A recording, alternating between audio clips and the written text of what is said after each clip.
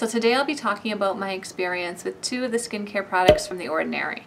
The 100% organic cold pressed rosehip seed oil and the lactic acid 5% with hyaluronic acid. This is part 3 of my Ordinary review series. If you've missed part 1 and 2, I will link them in the description box below if you'd like to check those out also.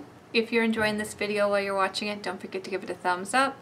If you're new here, consider subscribing and hitting the bell notification so you don't miss anything. If you want to know my thoughts on the 100% organic cold pressed rosehip seed oil and lactic acid 5% from The Ordinary, don't go anywhere, just keep watching. So the first product I'm going to mention is the 100% organic cold pressed rosehip seed oil.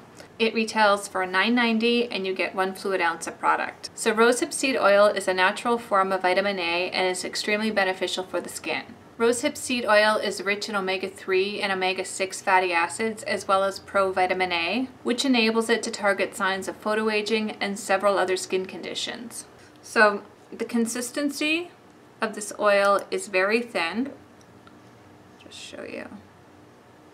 And what I loved most about this is I found it absorbed into my skin quickly and didn't leave me feeling overly greasy. Because this is cold pressed, there is no heat used to extract the oil, so all antioxidants are preserved. These essential fatty acids are known to correct dark spots and hydrate dry, itchy skin, all the while reducing scars and fine lines. So this product helps to protect the skin and increase cell turnover because it contains vitamin E, vitamin C, vitamin D, and vitamin B carotene, which is a form of vitamin A and which are all antioxidants that help fight free radicals. So if you're new to my channel, I'm 43 years old and I have extremely dry skin especially this time of year.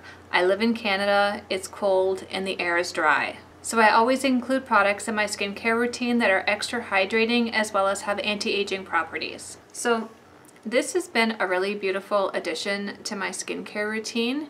I use it at night. I sometimes will pair it with a moisturizer and I sometimes will just wear it on its own.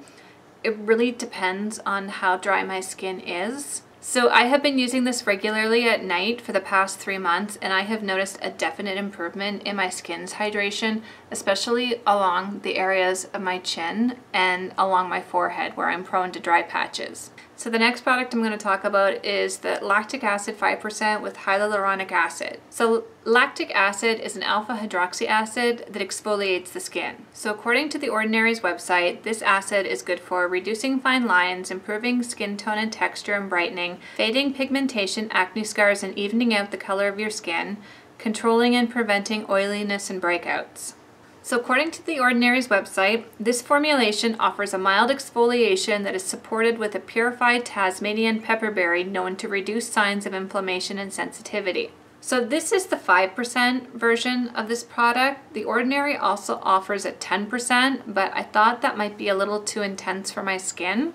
So for myself, this product worked out for me. However, I've watched other reviews and it's very hit or miss. Some people claim that it didn't do anything for them and some of them claimed it actually like broke them out. So if you have sensitive skin or you're prone to breakouts easily, this one might be one to avoid. For myself, I didn't have any issues with it.